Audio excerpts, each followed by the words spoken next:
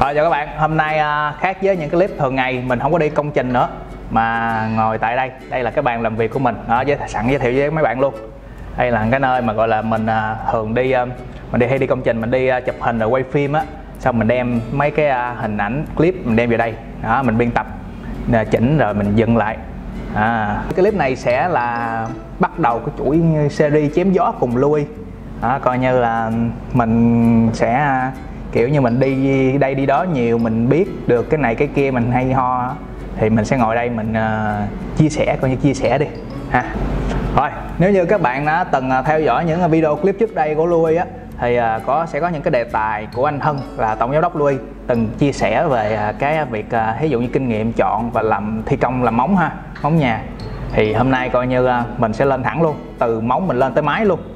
À, thì à, bây giờ đề tài hôm nay mình sẽ chia sẻ chủ yếu là về à, mái nhà. Cái lý do mình chọn cái mái nhà để mình chia sẻ do đối với mình nha đối với mình thôi.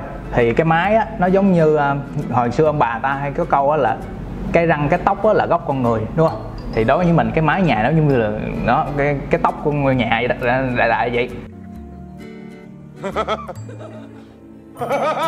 Thì á, cái mái đó nó sẽ à, quyết định về cái à, một khá là lớn về cái vẻ đẹp tổng thể của kiến trúc của ngoại thất của toàn tòa nhà.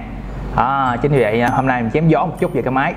Thôi nếu như à, như bản thân mình nè mình hay đi xa đi tỉnh nhiều đó, mình hay đi quốc lộ thì mình sẽ thường bị bị hút mắt bị bắt mắt vô những cái ngôi nhà nào. Đó, có một cái mái ngói ví dụ như cái hệ mái đẹp rồi hệ mái nó nổi bật. Ví dụ như bạn chọn một hệ mái màu đỏ cà rốt đi chẳng hạn đó, thì nó sẽ đập vào mắt bạn liền. Thì đó ví dụ như ờ, bạn ờ, đang có ý định xây nhà, rồi muốn xây một ngôi nhà mà để nhiều người ờ, nghĩ tới và gợi nhớ nhất. Đó, thì ví dụ mình quất cái màu nào nó thật là chói, thật là nổi như là màu hường hay màu tím gì đó. Đó, thì ví dụ như cứ đới, đoạn đó, khúc đó là thấy cái nhà nào có mái ngói màu tím là nhà của tao. Đó, đại loại vậy rồi, đầu tiên mình sẽ nói sơ một chút về các à, hình dáng cái mái nhà thường thấy ở Việt Nam. Và cái mái à, mình à, thấy phổ biến ở khi mà mình đi á, đi đường mình gặp á là cái loại mái Thái. Mái có hình dáng tam giác này nè, đó dốc dốc độ nghiêng này nè. À, nếu các bạn thấy chú ý sẽ thấy cái khá là nhiều cái nhà như vậy. Rồi, tiếp theo là cái loại mái có hình củ hành. Đó thật ra nó nhìn giống củ hành thôi nhưng mà nó là dạng vòng tròn lên. À, mình sẽ thường thấy ở dạng những cái nhà cổ điển à, nhạc cổ điển thì nó cũng còn một cái hệ máy nữa tương đương. Đó là nó cũng khá là đẹp. Nó thường dùng để cho cái tầng áp máy á, là hệ máy massage massage gì đó. Nói chung là để mình sẽ để cái tên đó trên màn hình. Kế tiếp thì à, sẽ là cái máy bằng. Và cái máy này thì nó sẽ à, không có lợp gì hết. Nó chỉ là đổ bê tông thông thường thôi. Nên à, là mình sẽ không nói nhiều trong clip này nữa. Về hình dáng thiết kế kiểu máy thì nó hơi nặng về kiến trúc thiết kế rồi thì mình sẽ không có nói chuyên sâu quá à, mình ở đây trong clip này mình sẽ chủ yếu tập trung nói về các vật liệu cho các bạn dễ trong việc lựa chọn máy ngói phù hợp trong ngôi nhà của mình. Rồi thì à, hiện tại theo mình nghiên cứu á, thì sẽ có à, ba loại máy ngói chính. Đó là thứ nhất là máy ngói đất nung. À, thứ hai là ngói xi măng. Và cái thứ ba cái cuối cùng là ngói bi tông thì hiện là ba trên thị trường mình thấy có à, ba loại này là được sử dụng nhiều và phổ biến nhất. Thì mình sẽ chia sẻ ở đây đầu tiên sẽ là cái à, loại máy đất nung. Thì à, loại máy này chủ yếu là được làm từ đất sét. Thì à, cái này nó có từ rất là lâu đời là do ông cha ta tự sáng chế và và, và tạo nên. Nó các nó sẽ trải qua những công đoạn rất là phức tạp như là à, ủ đất rồi cán nhào. Đó thì nói chung mình sẽ không có nhớ hết những cái công đoạn này. Cái máy ngói này thường nó sẽ có cái màu đặc trưng là màu nâu đỏ ha các bạn. Và để uh, các bạn dễ nhận uh, nhận nhận nhận dạng cái loại ngói này á, thì mình sẽ để hình. Thì chủ yếu đó những cái công trình mà hay sử dụng cái loại ngói này á sẽ uh, mình các bạn sẽ thấy ở những cái đền nè chùa nè hoặc là những uh, cái công trình nhà cổ xưa những cái nhà mà hay dùng hệ cột tròn bằng gỗ lớn á đó, hoặc là những quán cà phê nhìn nó chất chất uh, kiểu xưa xưa cổ cổ kính á. Đó, thì uh, nó sẽ dùng uh, loại mái ngói này rất là phù hợp.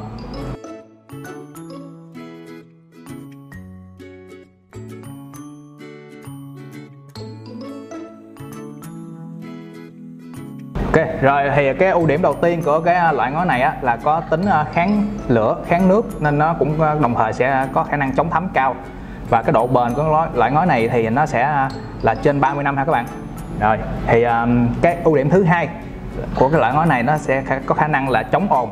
Thì khi mà trời mưa thì bạn sẽ đỡ bị nghe những âm thanh mưa rơi rớt gì rất là ồn ào khó chịu. Rồi cái ưu điểm thứ ba là do Ờ, màu sắc của ngói được hình thành trong quá trình nung nấu nên ờ, nó sẽ rất là bền màu và không bị ờ, phai màu nhiều do yếu tố của thời gian hả các bạn? Một ưu điểm nữa thì là cái loại ngói này nó có khả năng là chống lại sự bào mòn của không khí mà không khí nó có chứa muối. Thì đặc biệt như cái không khí này là các bạn sẽ thấy ở những vùng biển ha thì các bạn thấy resort đó này nọ thì nếu mà dùng loại ngói này xây rất là phù hợp. Rồi cái ưu điểm cuối cùng á, là cái khả năng hấp thụ nhiệt thấp của cái loại ngói này ha các bạn? Thì với khả năng này á, thì khi mà trời nắng nóng vào mùa hè thì ờ, cái loại ngói này sẽ giúp chúng ta cảm thấy mát mẻ và dễ chịu hơn. Bên cạnh những cái ưu điểm ờ, của ngói đất nung như vậy thì bên nó cũng có tồn tại những cái nhược điểm. Nhược điểm á, sẽ là khi mà bạn thi công lợp mái của ngói này thì đòi hỏi người thợ phải có tay nghề cao.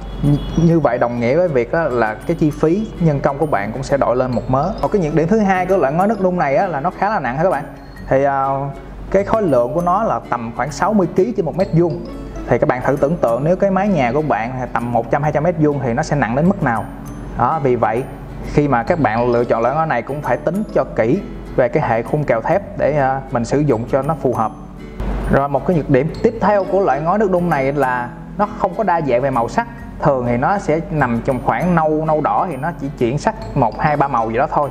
Ví dụ như bạn muốn màu xanh, màu tím, màu hồng gì đó thì cũng không có cho bạn xài cái loại ngói này. Rồi mình chuyển qua cái loại ngói thứ hai là loại ngói à, xi măng. Một loại ngói cũng khá là phổ biến trên thị trường hiện nay.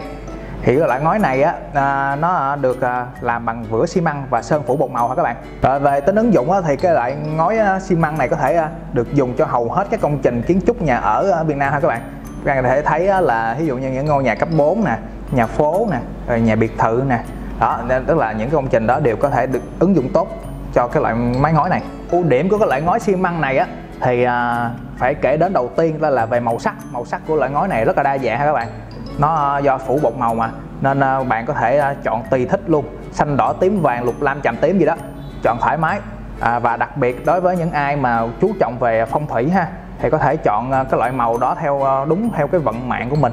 Đó phù hợp là làm ăn phát tài phát lộc luôn. Ok. Ưu điểm tiếp theo của loại ngói xi măng này á, là trọng lượng khá là nhẹ. Nếu mà so với cái loại ngói đất nung là khoảng 60 kg trên mét vuông thì loại này chỉ tầm 40 kg trên một mét vuông thôi ha các bạn.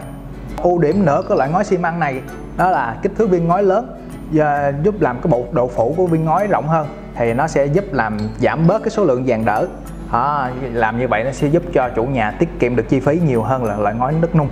Để các bạn dễ hình dung á, thì mình sẽ để cho màn hình cái hệ kèo của hai loại máy ngói này để các bạn dễ dàng so sánh. Một cái ưu điểm kế tiếp là cái loại ngói ờ, xi măng này á có cái ờ, về kỹ thuật lắp đặt thì rất là đơn giản nó không có cầu kỳ phức tạp như là ngói nước nung. Do đó khi mà cái chi phí nhân công cũng sẽ rẻ hơn.